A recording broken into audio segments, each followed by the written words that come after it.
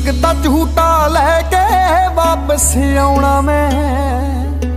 ਸੁਰਗ ਦਾ ਝੂਟਾ ਲੈ ਕੇ ਵਾਪਸ ਆਉਣਾ ਮੈਂ।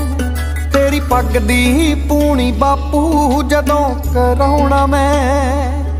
ਤੇਰੀ ਪੱਗ ਦੀ ਪੂਣੀ ਬਾਪੂ ਜਦੋਂ ਕਰਾਉਣਾ ਮੈਂ।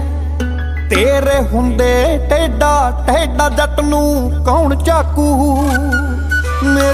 ਉਮਰ ਤੈਨੂੰ ਲੱਗ ਜਾਵੇ, ਜਿਉਂਦਾ ਰਹਿ ਬਾਪੂ। ਮੇਰੀ ਉਮਰ ਤੈਨੂੰ ਲੱਗ ਜਾਵੇ, ਜਿਉਂਦਾ ਰਹਿ ਬਾਪੂ।